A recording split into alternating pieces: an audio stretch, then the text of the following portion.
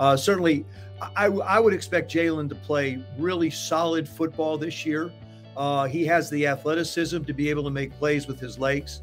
I mean, he's, he's quite an exceptional individual when it comes to being able to do stuff like that. So, from my perspective, um, I, I, think the Eagles are, are one of those teams that can really certainly contend in the division. And depending on how healthy people are, uh, they can be a handful for everybody.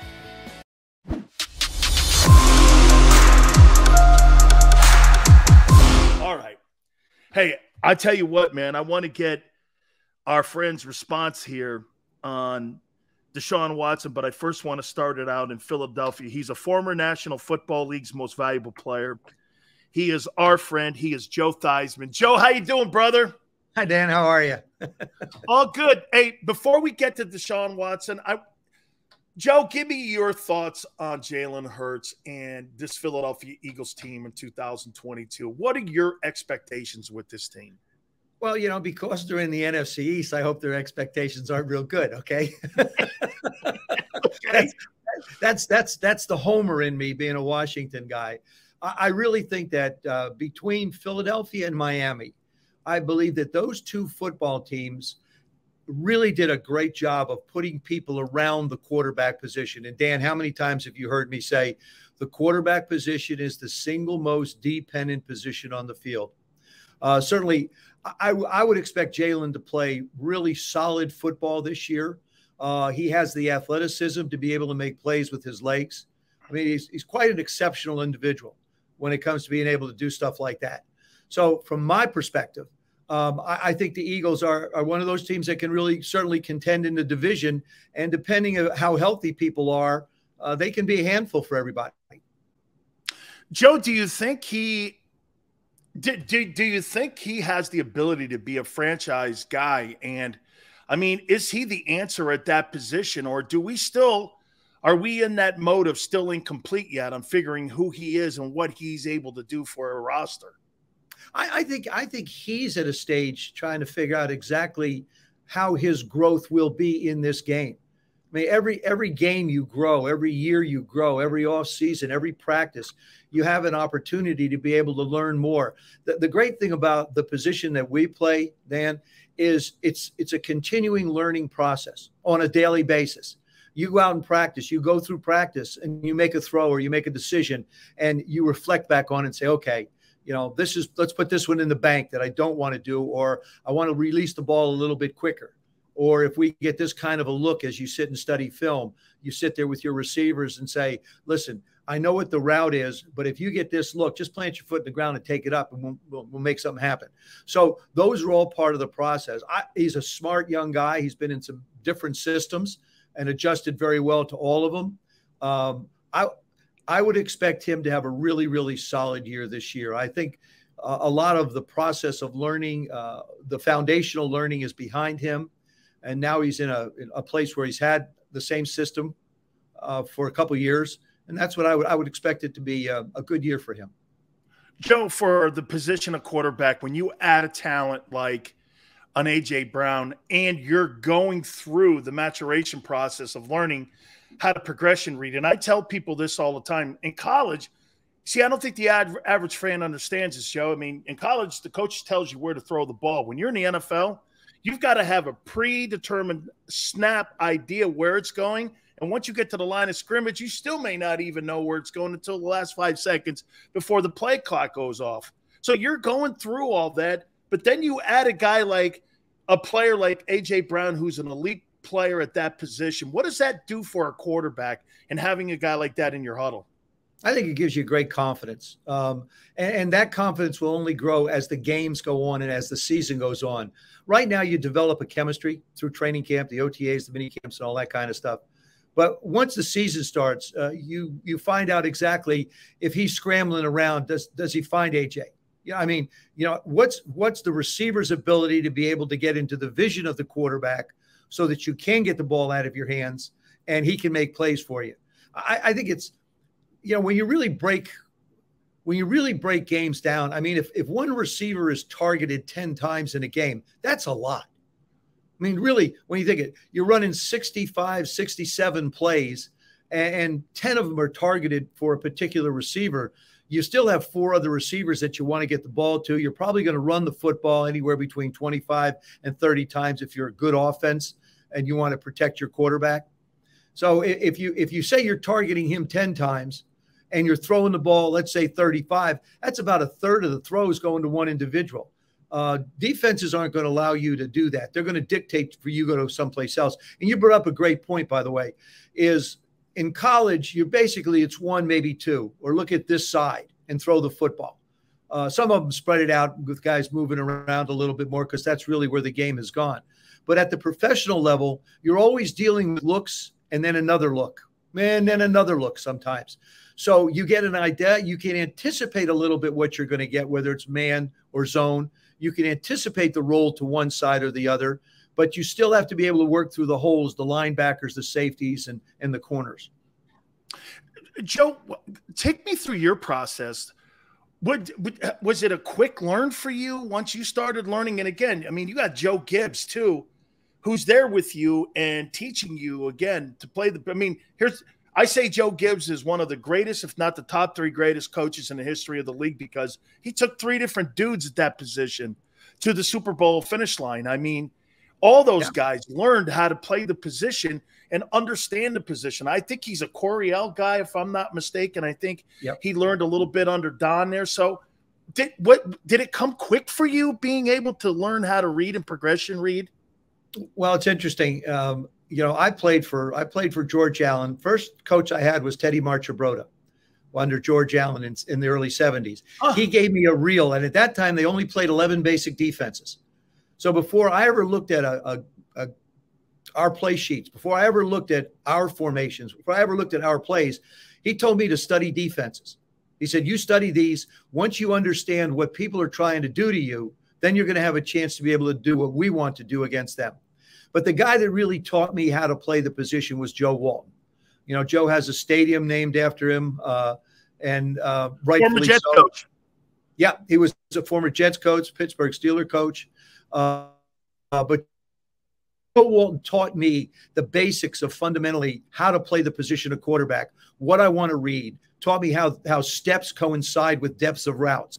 Uh, we read, see, back then we read linebacker drops, we read safeties, positioning of safeties. And then when Coach Gibbs came, it was initially a system that he had run with Don Coryell, but that wasn't very successful for us. I mean, the first five games of the season, we were 0 5. I was going to get benched, and because uh, they were going to fire him, they just hired him. So um, I was, you know, my job was on the line. And Joe changed our offense where we ran the ball a little bit more. We took advantage of the size of the guys up front. My job was to keep the chains moving. And then when we've gotten the red zone, to be able to make the plays that we needed to. To this day, he's one of the greatest minds when it comes to getting the ball in the end zone from the red zone, which is the plus 20 and in. So I concur with you about him being a top three coach in the in the history of this game. Obviously, not only did he take three quarterback different quarterbacks, which and each system evolved. Because with me, we we had three wide receivers. By the time he got to Rip, you know, Doug was the one in San Diego and Rip was the one in Minnesota. By the time he got to Rip, they were running four wides. Yeah. So the offense just continued to evolve. And this was Joe. It continued to grow and evolve. And I think one of the things that was interesting about, I know the guys that I played with, is coach used to just give us as much as he could to see if we could handle it. And we never got to a point where he backed off and said, oh, this is too much for him. He just kept throwing stuff at us and we kept processing it and, and we just grew and he made it fun. You know, we'd come out for practice on Wednesday and Joe would have come up with, you know, this formation where John Riggins is on the wing, Art Monk is in the backfield. Um, you know, you the the tight ends are outside, the wide receivers are inside. And then we'd shift or we'd stay in that formation. We'd have a running play, we'd have a play action pass, and we'd have a drop back pass. So by the time Sunday rolled around, Dan, I'm like a little kid in a candy store. When's he going to call this? What are we going to do? And every time he did that, he made practice exciting and fun. He made it interesting, taught us to learn, but he also got us in positions where there were positive plays. They just weren't quote unquote gimmick plays. They were plays that he designed to get us a first down, to get us five or six yards, maybe a shot at a big play and, and that's the genius of Joe, I call it. But he really created the system. But fundamentally, I was taught by Joe Walton. I got to tell you a funny story. So I'm sitting down with Coach Gibbs in my first meetings with him, And Joe had taught me to read linebackers and safeties, Joe Walton. So I'm sitting there with Coach Gibbs, and of course we got the Coryell system, and you know Dan's been throwing it all over the place. He's got Kellen and JJ and all these guys. So I'm sitting there, and I said, uh, "Hey, Coach, um, who do you want me to read on this particular play, the safety or the linebacker?" And he says, uh, "Throw it to the open receiver." I, said, I said, "I really want to do that." But you know, I mean, is there anybody in particular you'd like me to read, the safety or the or the uh, uh, linebacker? He, he, at that time, we had projectors. so he turned the projector off and he goes, "Joe, look, it's a simple game. Just throw it to the wide receiver. Okay? It's that simple." And so that, that's basically you know that's that's what it was. But uh, he was he was creative as far as patterns and routes and everything goes, and he just wanted you to throw it to the open receiver. Simple things sometimes are the most hardest things to accomplish yes, at times I, I, guess. I i love that advice. Let me keep you in washington then. Carson wentz have you been impressed with him?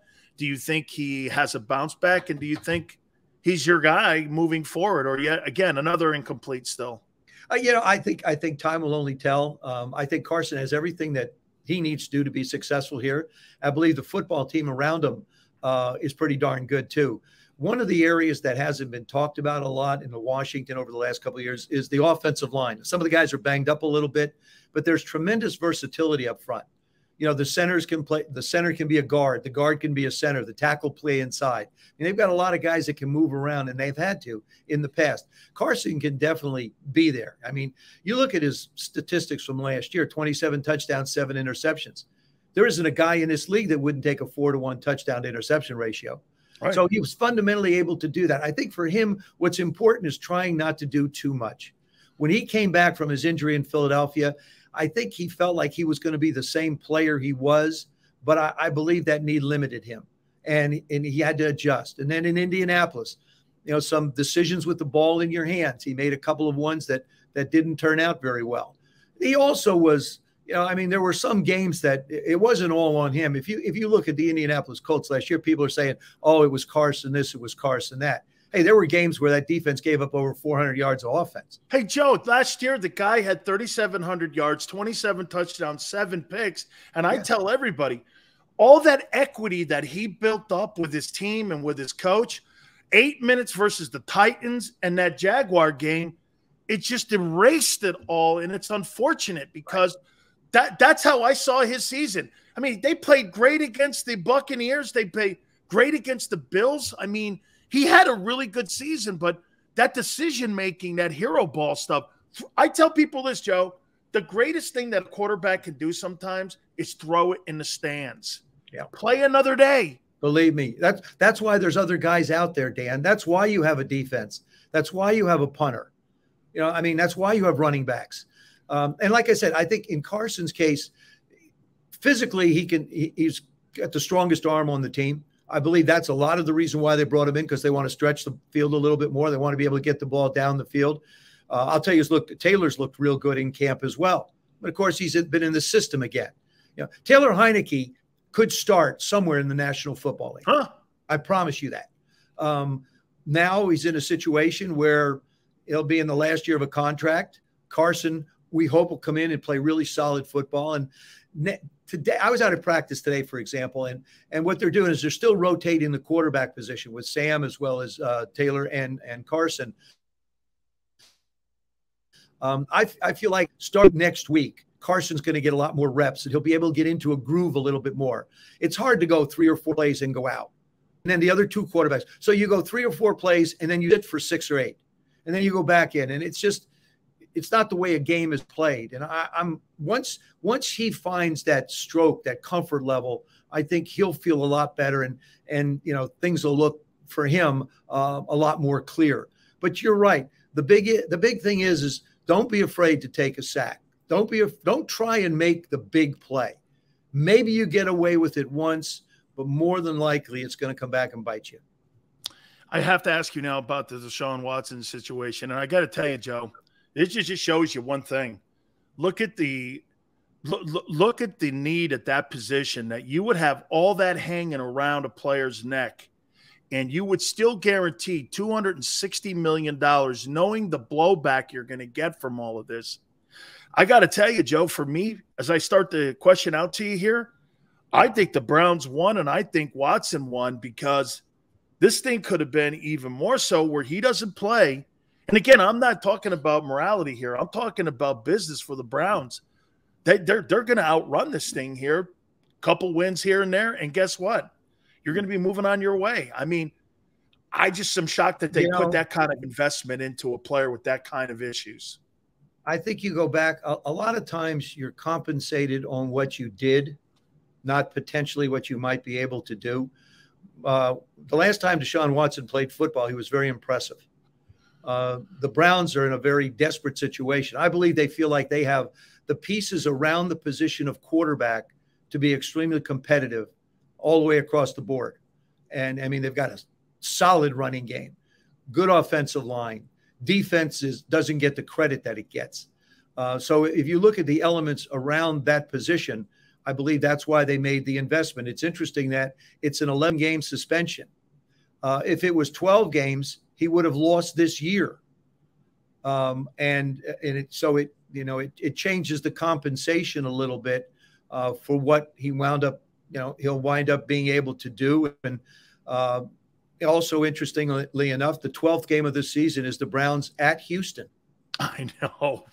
So uh, you know i mean you know the national football league um, examines every case differently every individual differently when it comes to the disciplines and they make the decisions uh, and I, that's really where I leave it. Um, uh, it, there's really nothing else that I could add because I'm, you know, you know what you read, you know what you hear, um, but it's it's a decision that the National Football League made. The Players Association, I'm sure, accepted it, and and the deal is done. So in Week 12, Deshaun Watson will be the quarterback of the uh, of the Cleveland Browns. And Joe, you know why I love talking to you because you and Simms are such you you guys are quintessential leaders of your football team because I asked him a question about Lawrence Taylor a couple years ago. And one of the things that I loved about Phil was this. I asked him, I go, I'll never forget the media came in and I asked you right away, and you go, right when LT got suspended for drugs, hey, we'll welcome him back when he comes back and we'll have him as a member of our football team. Well, are you disappointed? Hey, I just told you something here. We're going to welcome him back as a member of our football team. And that's all I got to say. And, you know, for a meathead like me that's a defensive lineman, you know, I'm, I don't want to answer those questions, but a guy like you that's like the face of a franchise, a quarterback, eh, that, that's what's got to be said in places of leadership like that. And so I, I, I respect what you're saying there because you know that that question is going to be asked to the other 52 guys in the locker room. Sure. I mean, that's the, the that that's I think that's got to be the, one of the toughest jobs for yeah. Kevin is as a head coach, you have to prepare your football team uh, for the questions that will be asked about one of the members of the football team, and you have to basically, I mean, in the old days, everything stayed in the family, everything stayed in the locker room. Uh, you know, there was conversations, there were things. You know, guys felt one way, guys might have felt another, but I think from the Browns standpoint, they'll want to be able to have a unified answer. Uh, and I think they'll probably say, look, Deshaun's not on this football team right now.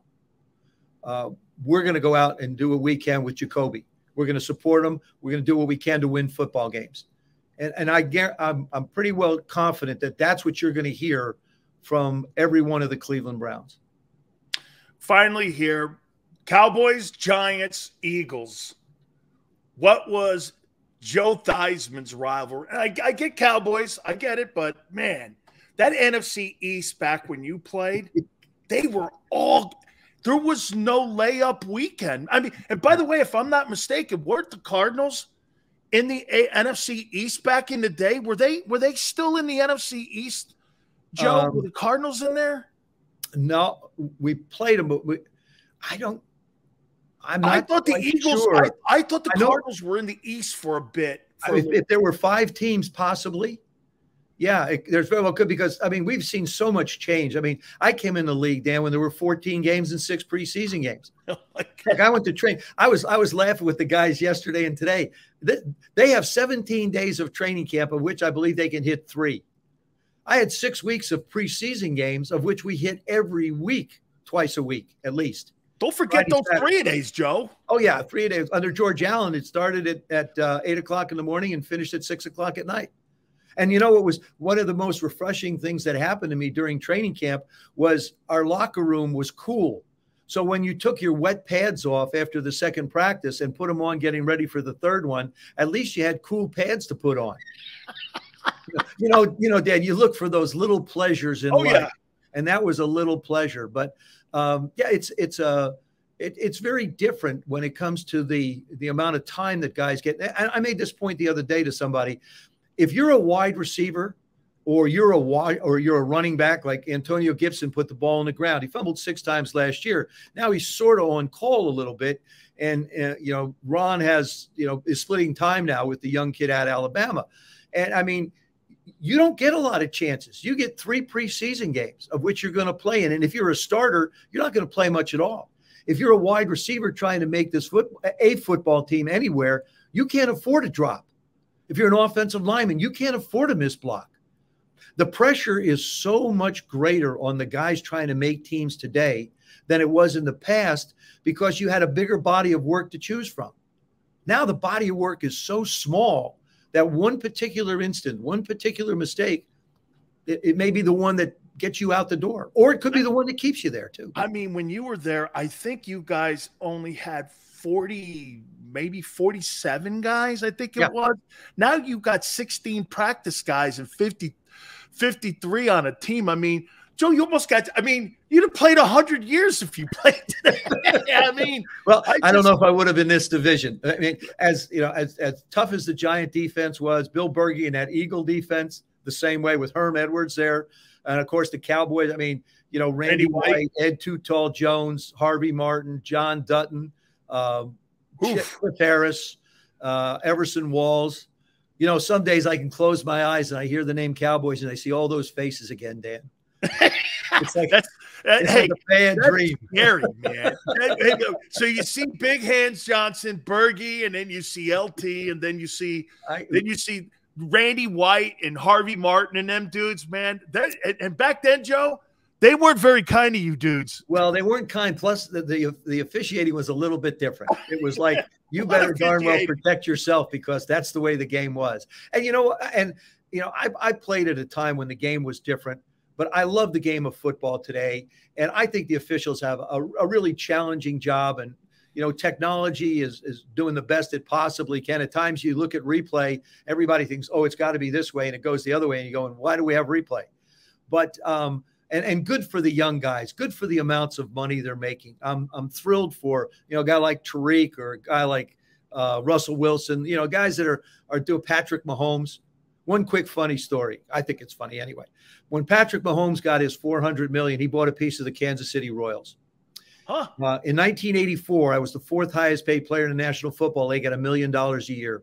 I sponsored a little league football team. So we both managed to sponsor athletic organizations. hey, uh, you know, and I, will tell you this. So I, I get a I get like a five hundred thousand dollars signing bonus from the Buccaneers, and Jeez. wait, check it out. I get a five. Okay, so my legendary Hall of Fame uncle Andy Robustelli, fourteen years. You know, I mean, with those great giant defenses back in the day, I didn't make five hundred grand my entire career. And I go, yeah, well, you guys rolled your helmets up and put them in your back pocket. I mean, he's like, son, you ain't playing in that era. I love yeah. it, Joe. Awesome stuff as always, man. Thank you so much for coming aboard. God bless, my friend. Always great to join you, Dan. Take care. Bye bye. You got it. That is the great Joe Theismann, former NFL most valuable player.